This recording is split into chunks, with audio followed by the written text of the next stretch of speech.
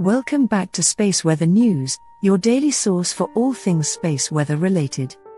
If you enjoy our videos, please consider showing your support by subscribing to the channel. Solar activity has intensified with powerful flares observed on the Sun's surface.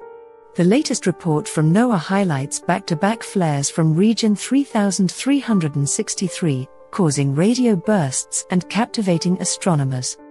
Region 3363's complex magnetic field configuration led to an M5 flare, accompanied by an M2 flare. Region 3372 exhibited moderate activity, while Region 3373 showed growth and increased complexity. New regions 3375, 3376, and 3377 were identified without significant activity. No Earth directed coronal mass ejections were observed. Solar activity is expected to decrease, with a chance of minor to moderate flares. Electron and proton flux levels remain within normal to moderate ranges.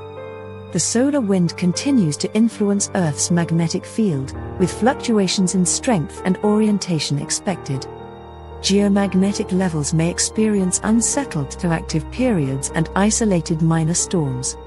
Monitoring space weather is crucial for technology and infrastructure.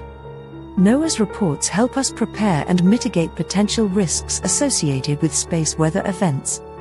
Subscribe to our channel and prepare to be captivated by a wealth of updates, insightful analyses, and profound discoveries as we delve deeper into the mysteries of our dynamic universe. Remember to follow us on social media for the latest news and discoveries about space weather. To deepen your understanding of space weather phenomena, we invite you to explore our mini documentaries. Simply click on the on screen videos to access these in depth explorations. Thank you for watching.